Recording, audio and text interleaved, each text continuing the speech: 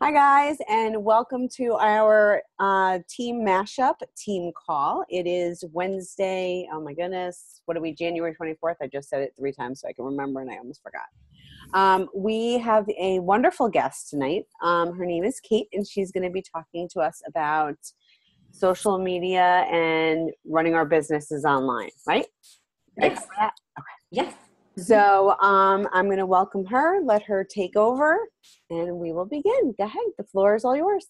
Thank you. Well, I appreciate you having me, Jodi, and I appreciate you introducing me to the team, Rebecca.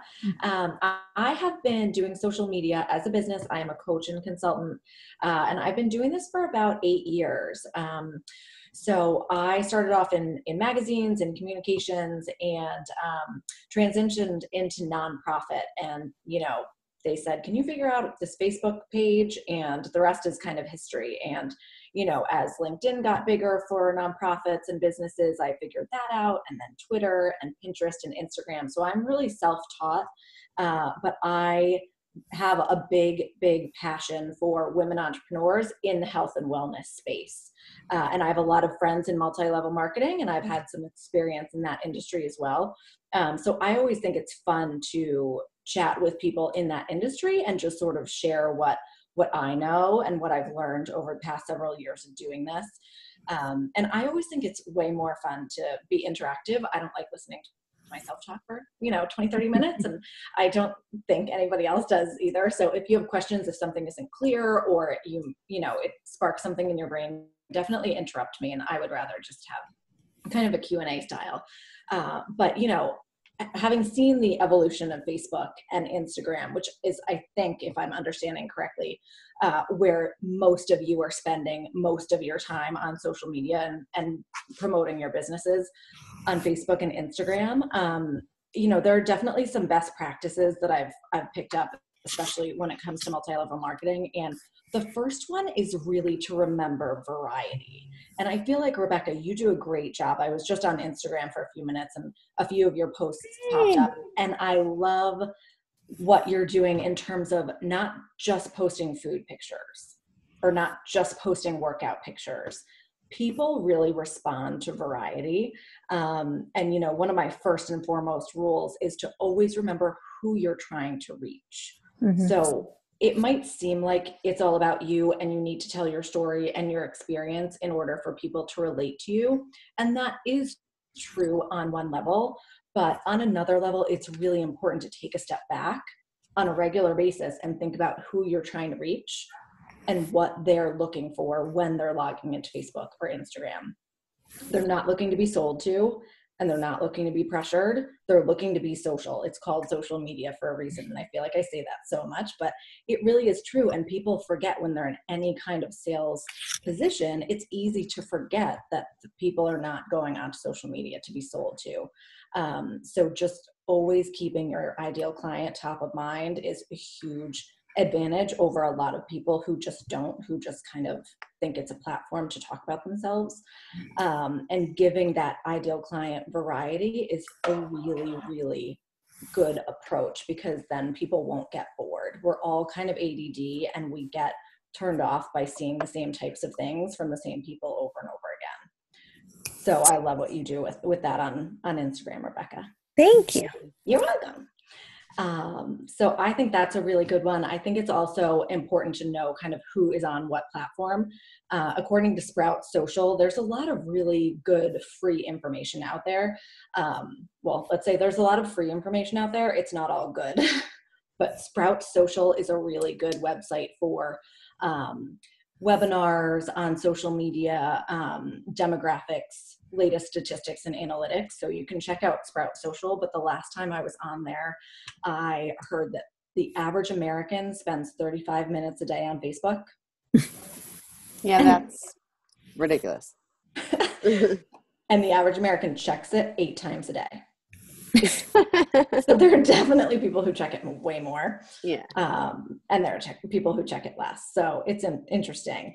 Um, I've also, I get a lot of questions from my clients about how often am I supposed to post? And the latest research I've seen shows that posting to Facebook and to Instagram one to two times a day gets the most engagement. So that's always a goal too, is getting engagement on your posts. It's not really good enough, unfortunately, to post really good content. You need to have posts that people are engaging with. So liking, commenting, sharing. Um, so posting one to two times a day. And that feels like a lot to a lot of people. And I totally get that. Um, so if that feels like a lot to you, it can be a good idea to try to set aside, like if you time block or you have any kind of calendar, or schedule, planner, time block like an hour on Monday for Marketing Monday. It just kind of sticks in your brain. Um, and if you can start out the week and schedule a few posts out or just plan out what you're going to post and when, that can be really helpful. And then do it again like Thursday, Friday, and you're already ahead of the game. Um, a lot of people ask me if they need a business page. A lot of people feel like in multi-level marketing, they can just use, you know, their personal Facebook profile and they don't need a business page. And Facebook has made it really clear over the past few years that if you're using a personal profile to promote your business too much, they'll shut you down.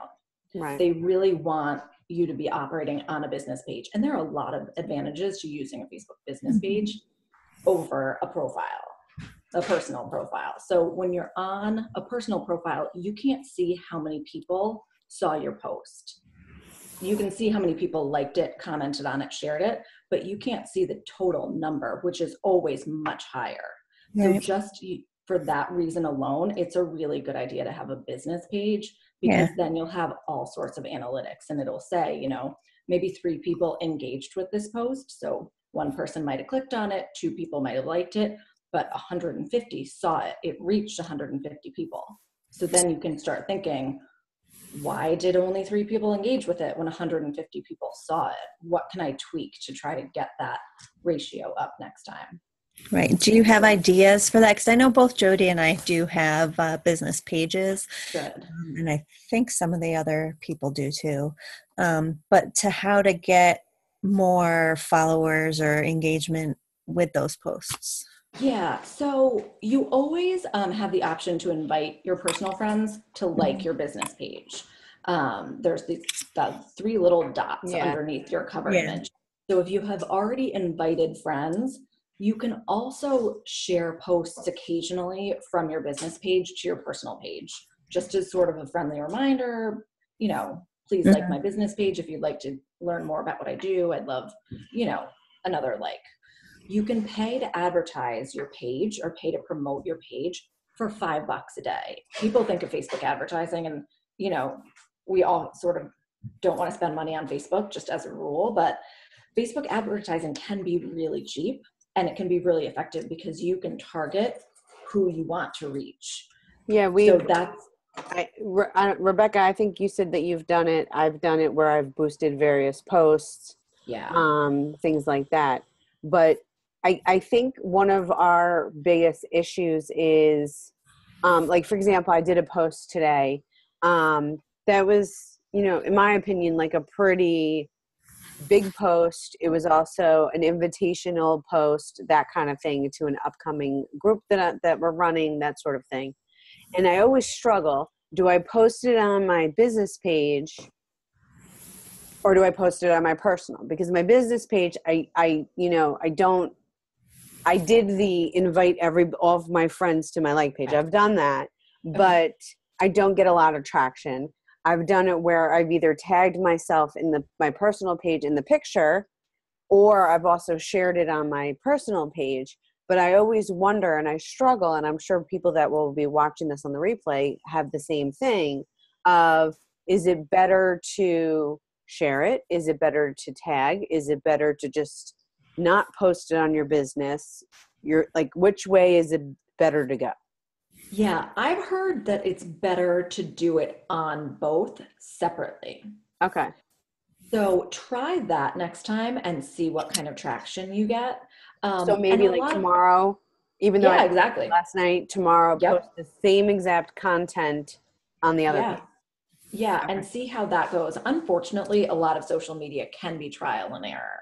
Right. So it and people's audiences are different. so it's hard to say like these are the rules. We can say like these are the best practices and this is right. what, you know some research supports but at the end of the day it's kind of what your audience is going to respond to and just playing around with different things to see if you can get better um, engagement. So that's what i would recommend. So you think um, posting it separately um, both is better than like sharing it to your personal page after? I think so Okay. I mean, that's what I would recommend, but then you can try sharing it and see. Sometimes Facebook likes to um, prioritize original content. So if they feel like you're just kind of sharing lots of other people's posts constantly, they might not show those posts of yours to a ton of mm-hmm. other people. They want to see that you have original ideas to mm-hmm. contribute to the Facebook community. Um, right. Having said that, they did just change their algorithm um, so that they're really prioritizing business pages that are engaging, that are not just posting content. Um, so they want business pages to be interacting with other business pages and liking and commenting and sharing as their business page. So again, it so like for example, the then if, right. So like if Rebecca posts something as discover your stride me as fit taskmaster mama i should instead of jodi i should do it as fit taskmaster mama because it's business to business yes exactly okay. Okay. and sometimes facebook will allow a business to tag a personal profile and sometimes they won't it's usually um, you know if you're posting as your business page you might be able to still tag rebecca's personal profile if you wanted to because right. she's probably engaged with your business page Correct. as her personal profile yep. but sometimes they kind of like want to separate church and state and make sure you're only tagging other businesses so I've, just, yeah i've noticed that as well yeah whereas rebecca and i we interacted both business and personal so she's kind of on my business. So like if there's a, if i post a picture for example of her and i i can tag her or i can whatever with her but yeah. like other people like i was trying to do a post the other day and i was like he is sinkers and it didn't work so i was like okay. Right. Okay. Yeah and hashtags are another area that you know it kind of is trial and error. A lot of people will tell you on Instagram, you need to post eight to 12 hashtags per post, and that will get your post in front of more people. And then I just saw something today that said, do not post more than two hashtags on Instagram.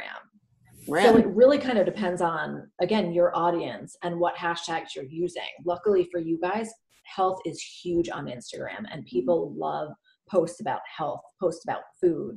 Um, so if you just do a couple, you know, a handful of hashtags, you'll get more followers and you'll get new followers um, pretty consistently. And that's a nice advantage of Instagram over Facebook. I feel like Instagram profiles grow more quickly than Facebook um, business pages, but sometimes the followers you get on Instagram are only looking for pictures and they're never going to take that relationship into real life mm. um, and become a part of your team in any way. Right. But sometimes they might. You just kind of never know. And there are people who have built their multi-level marketing businesses entirely on social media and they've taken those sales you know they've taken those relationships offline and they've really built those sales so it kind of just depends but yeah the the hashtag thing is another example just see what people respond to Mm-hmm. Try a few posts where you do two or three hashtags, and then try a few posts where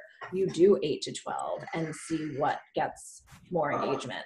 Do you see, is there any difference between having the hashtags in the initial post versus in a comment? Because I'll do that sometimes. I'll do some in the first post and then I'll do more in a comment. Yeah, I've seen a lot of people having really strong opinions about that. And I have not seen a difference either way. Um, so a lot of people, if they're sharing consistently their Instagram posts onto their Facebook page, and that's the only way you can go. A lot of people say, "Can I start? A, can I post on Facebook and have it link over to Instagram?" And the answer is no. You have to start on Instagram. Uh, but because Instagram is sort of more hashtag friendly, like people are used to seeing hashtags more on Instagram, sometimes if they know they're going to share that post over to Facebook, they'll put the hashtags in a separate comment because they don't show up as often over on Facebook. If that makes sense. Once they share it onto Facebook, most of those hashtags will just stay on Instagram. So that's one way to do it. But I, I just feel like don't overthink it and don't complicate your life. And if it's easy for you to put it in another comment or you're noticing that people respond better when you put the hashtags in a separate comment, that's great. Um, but I have not noticed a big difference for my clients because I paid attention and I've played around with several clients um, Instagram and tried to find a pattern, and there really hasn't been a pattern, but there mm-hmm. could be for you. A lot of people say that it gives them a, a headache to see hashtags directly following your comment or mm. your you know your caption if you go right into hashtags. So that's one reason people feel like it's a little bit more visually appealing to have the hashtags in a separate comment but i don't think it makes a huge difference. Have you played around with it both ways rebecca? A little bit.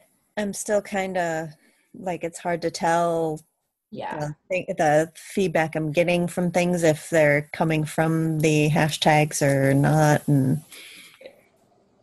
i'm yeah. finding like you get those couple of random people that seem like they're they're following you because they just want you to follow them Yep. Like something completely too. unrelated to what I was talking about or what I was doing. And like I had some like motorsports something start following me and I'm like naturally. Okay.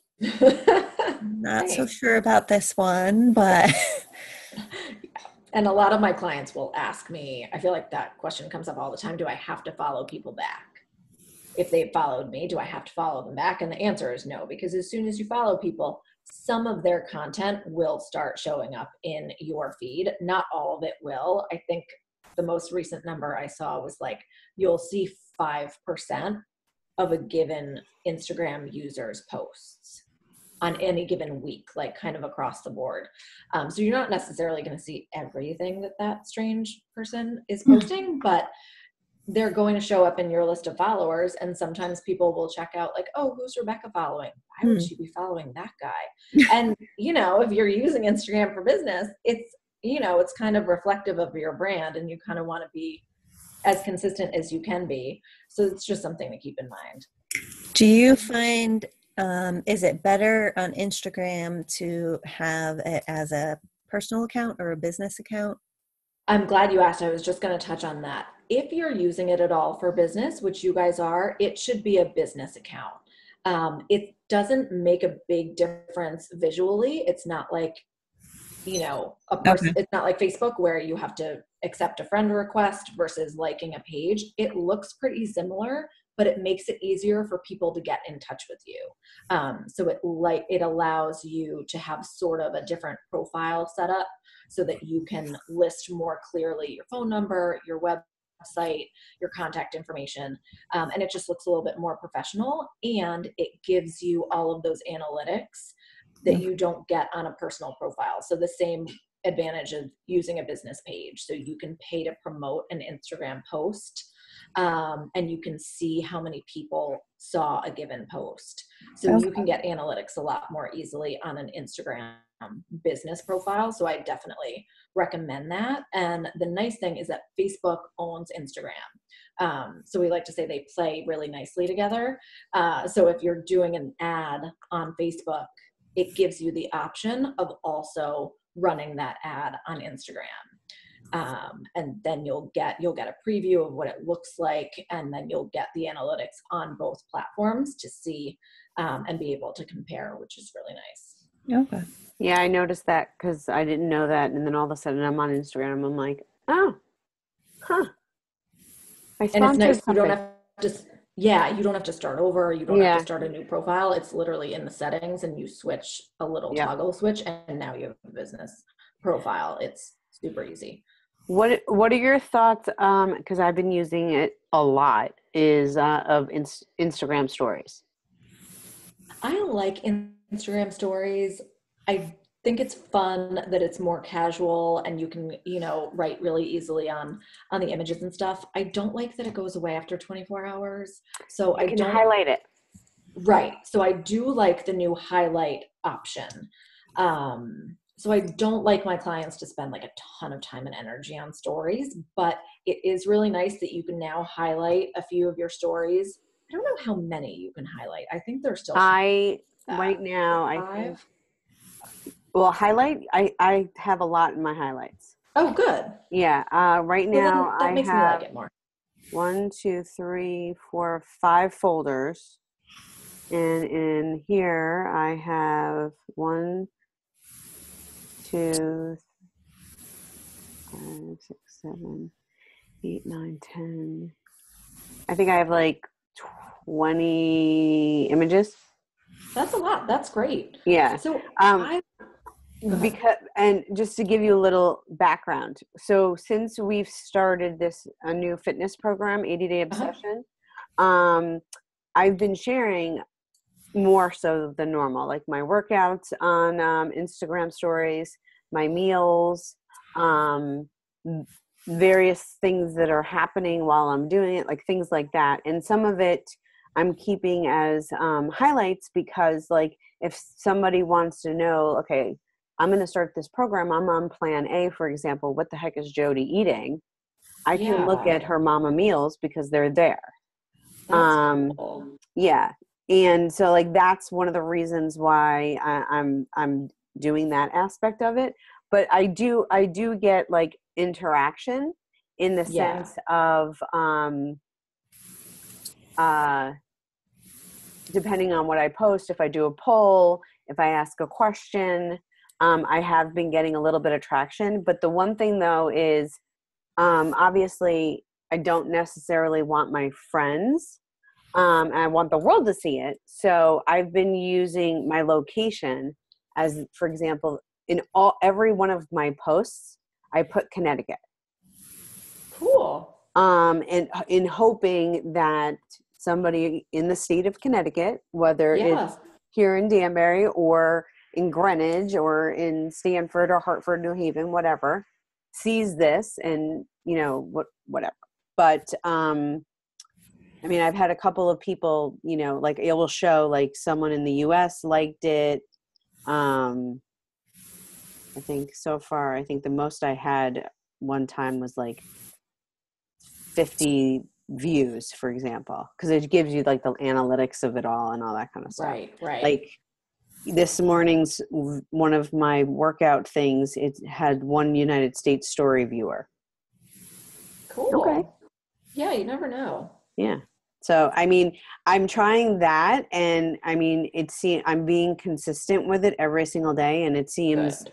to people seem to be interested in it i throw like silly stuff with my children and pets and stuff but Nice. Kids and pets are huge on Instagram. Yeah. People love seeing that kind of thing, which is Yeah. fun. So good for you for for working that in. Consistency is so so important. No matter what social media profile you're using, people for better or worse will assume that you conduct yourself in person and in business the way you conduct yourself on social media. So right being professional and being consistent is huge. Um, and I'm glad you brought up the location setting because locate always choosing a location for your post, even if it's state of Connecticut, it doesn't have to be your home address, which a lot of people think.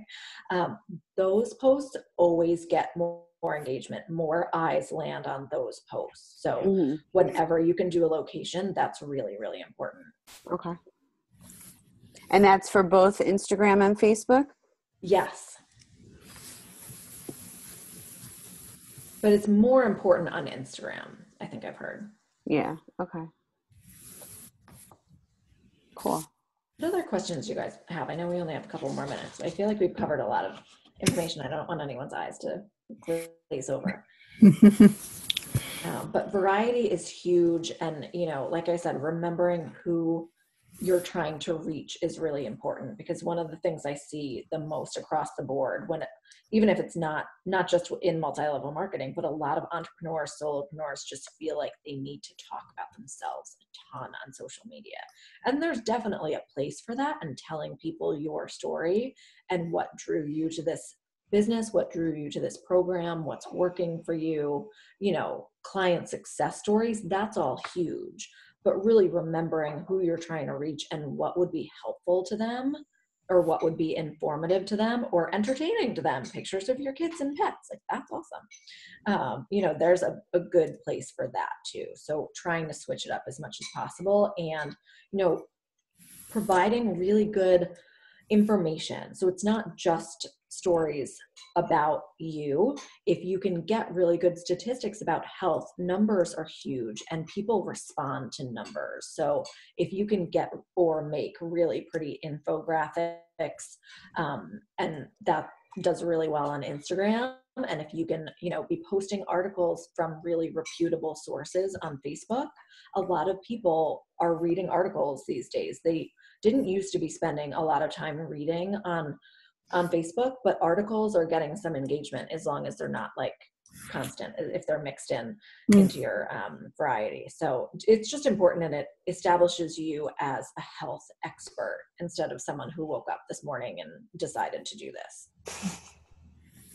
Because there are a lot of those too, and that's awesome. But right. you guys are much more uh, reputable than that, and you want to make sure that comes across. Right. Um, I think, I mean, you, I have a ton more questions, but we'll do that offline. But I mean, there's, I mean, this is definitely, this is definitely helpful. Um, I'm sure that if um, anybody does have questions, and I'm saying this to the people that watch the replay, com- uh, put it in the comments under the video, and Rebecca or I will share it with you, um, and then we'll go from there. But um, no, this was very informative. Rebecca, do you have any other questions? I don't think so. Okay. like awesome. all that information going and you're like, um, I think I'm yeah. Yeah, it's a lot of information. But yeah, I hit, but I yeah, Rebecca knows how to find me, and you guys yeah. can like my Facebook page. It's just Kate Fitzpatrick Consulting, and I'll shoot Rebecca a message tomorrow with my contact information in case someone wants to get in touch and like a okay. tiny little bit of information about how I work with people. Okay. Well, thank you so much for taking your time. And You're um, welcome. Um, as I said, guys, if um, you have any questions for Kate, please put it in the comments. And um, thank you, thank you, thank you. I'm You're welcome. now. Um,